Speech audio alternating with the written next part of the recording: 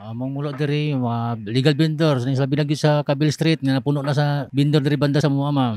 Ah, 200 meter na lang kalayo sa mga palengke na mga vendor nagatinda. Dapat pawaon na na sa action na na sa barangay kay doon lang kay sa palengke ba. Mga 5 pa ko na lang mga 200 meter to 300 meter na lang kalayo na nasa mga palengke ang kuan. Ang mga illegal vendor.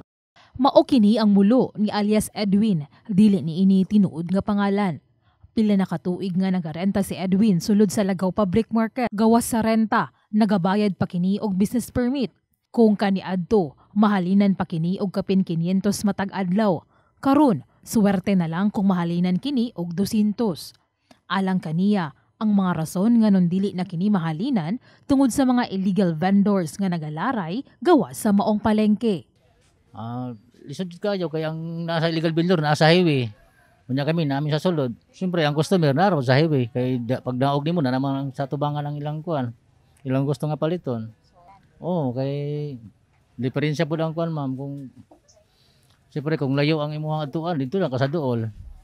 Ang mulo ni Edwin, mulo sab ni Lovely, sa adlaw-adlaw ni ini nga pagpamaligya. Dili ni ini malikayan nga ikumpara ang ilahang mga halin sa mga illegal vendors nga maoray madali-dali og adto sa mga nagapamalit tungod duol sa highway.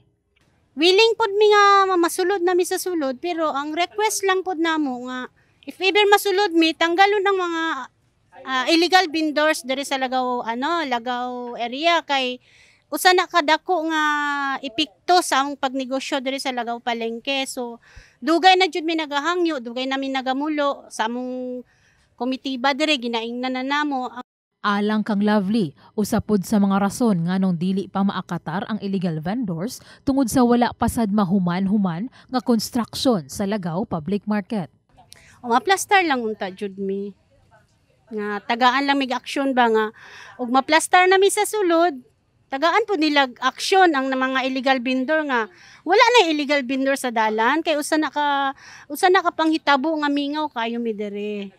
Dapat kanang ilang sa sulod sa palengke ilan na tanan i-reconstruct para maplastar ng tanan ba. Para mapawa na lang mga illegal vendor sa gawas ug ilang idalon sa sulod. Sa among pagpakighinabi sa in charge sulod sa Lagaw Public Market, siguni ini nga napaabot na matod pa sa ilaha ang maong mulo. Nakaabot na na sa mua tapos gi ano na na namo sa mong barangay kapitan. And then katong mga dati na sila na na sila sa mga kilid sa kalsada. So ang gihimo sa amo ang kapitan ba gina, ginalibot na nila kada adlaw tapos ginasita.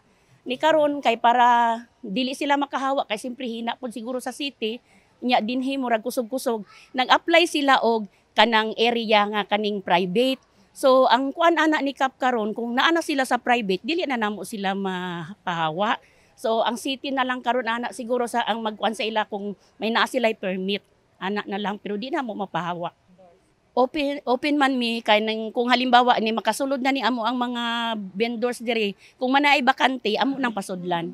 Tungod nagsugod na ang election ban, nagatuo sab si Lilibeth nga mao kini ang rason nganong nadilatar pa ang konstruksyon sa Lagaw Public Market.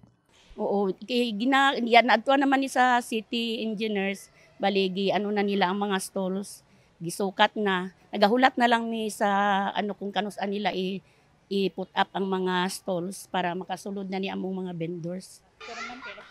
Gani election ban pahulaton na lang gid siguro after sa election. Basta mga murag kani nga year maka makahimo na. Mensahe ni ini sa mga renters, So ang akong mensahe sa ila ha, maghulat na lang sila kung mahumani ang ato ang mga stall diri sa sulod kay pangitaan nato nagpaagi nga kanang mga illegal ben, illegal vendors dira nga mapasulod nato sila para pantay na silang tanan. kini sa Eva Kaitom, Aim for a Better Life. Aim the Jensen Dream. Barug! Jensen!